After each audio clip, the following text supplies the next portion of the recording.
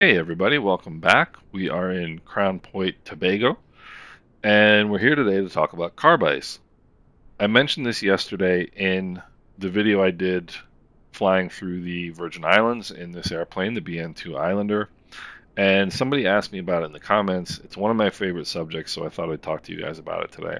Um, this airplane has what is uh, this airplane has a carb temp gauge now, carbureted engines are found in, in older airplanes like um, the Piper Warrior, the Piper Arrow, um, any round gauge version of the 172, not the G1000 172, not the G1000 Bonanza or the Baron.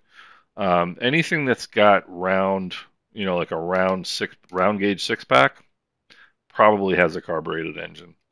Um, your big hint is going to be if it's got a carb heat uh, lever, which this airplane has two of them right here, um, one for each engine.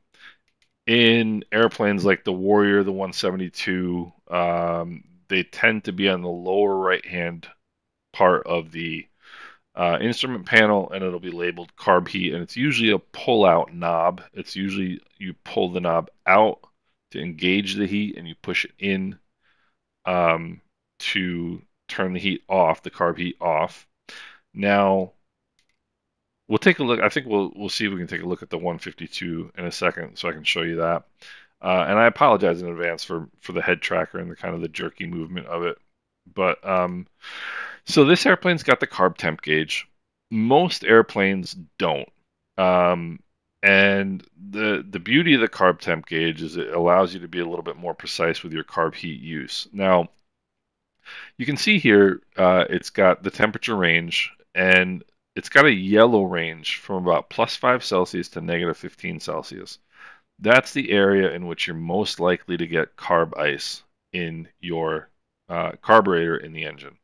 Now, when I talk about setting power in any type of piston airplane. You'll you'll hear me say this all the time in my videos. And if you guys are interested in, you know, real world stuff like this, um, I talk about it all the time in the cruise cruise portions of my flights. So if you're interested in this type of stuff, watch my flights. I talk about different, you know, navigation, weather, engine stuff all the time.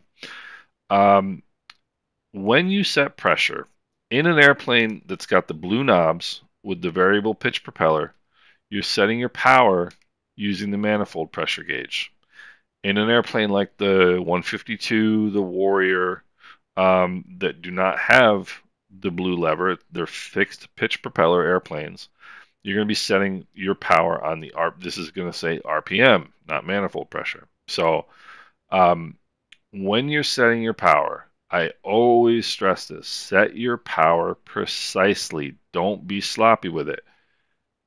If you want to set it to 25 inches of manifold pressure, set it to exactly 25 inches of manifold pressure. Don't set it to 24 and a half or 20 or 25 and a half. Set it to 25. Um, the reason is the first indication of carb ice outside of having this gauge is a drop in manifold pressure or RPM on airplanes with a fixed pitch propeller. Now, if you've got your power set precisely and you know it was at 25 and you look over and it's now at 24 and a half, you know something's changed and you need to pay attention to it. If you get a further drop, let's say to 24, the first thing I would think about is the potential for carb ice. Of course, we're talking again without having this gauge.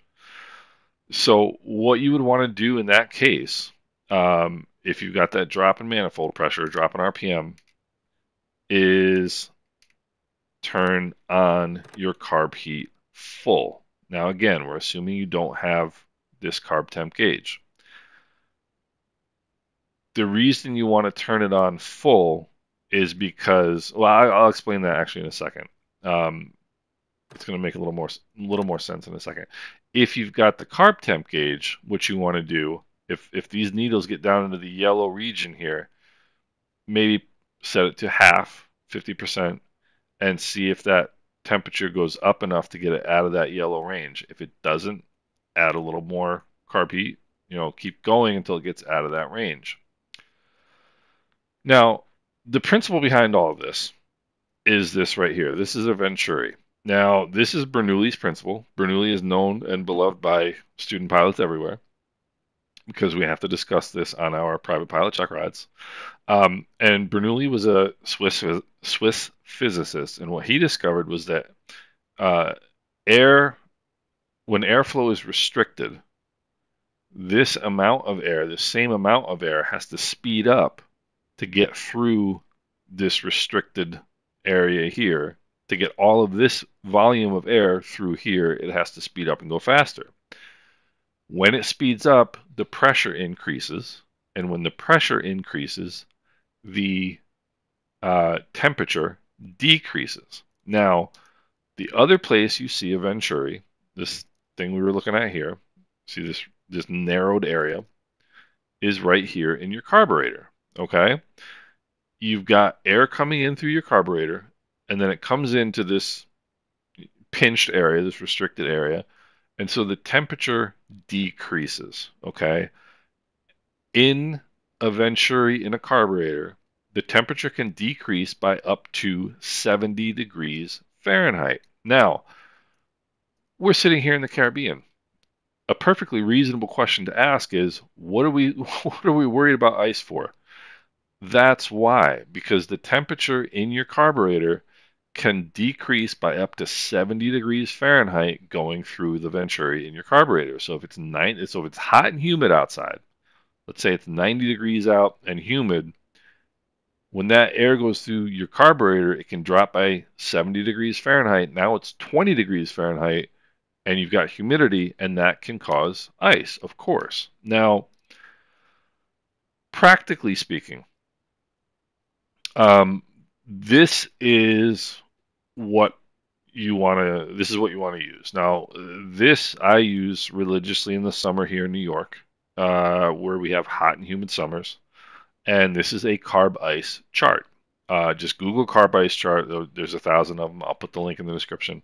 Uh, and what you do is you take your temperature your ambient air temperature and your dew point and you find out where they intersect. And then you look over here and you see what kind of uh, risk you have for icing, for carburetor icing. Now, it can be 90 degrees out, right?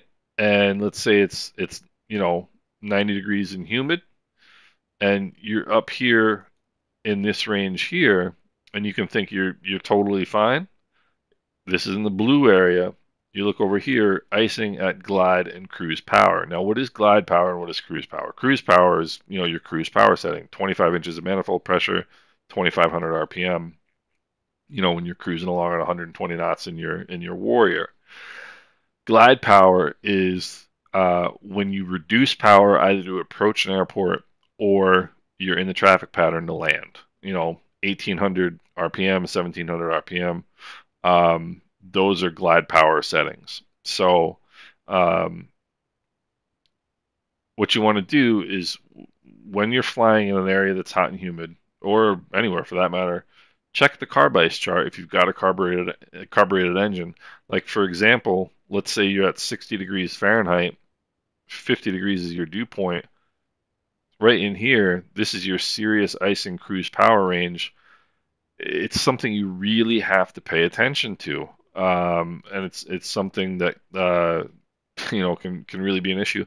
Now, what is the problem if you get carb ice? If you get carb ice, uh, if it is bad enough to restrict airflow to the engine, uh, you can lose engine power completely.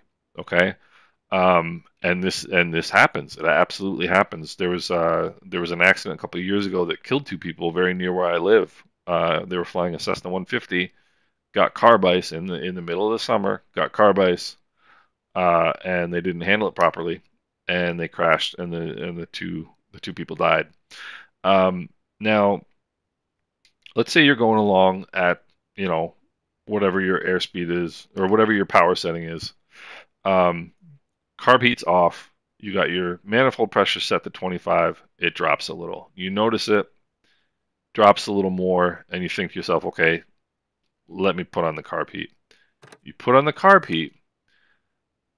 What that does, it, it's initially going to decrease the RPM or the manifold pressure even further, and you have to be aware of that, right? So turning the carb heat on is going to decrease your power even further.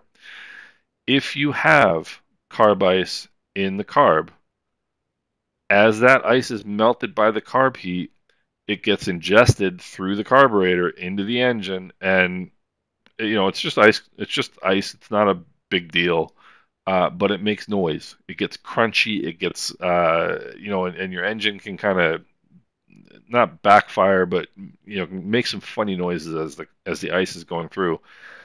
That tends to make people pretty nervous. And so what what the tendency people have is they'll get a little bit of carb ice, they'll put on the carb heat, power drops even further, the ice starts to melt, starts to go through the engine, makes ugly noises, and then they're really nervous.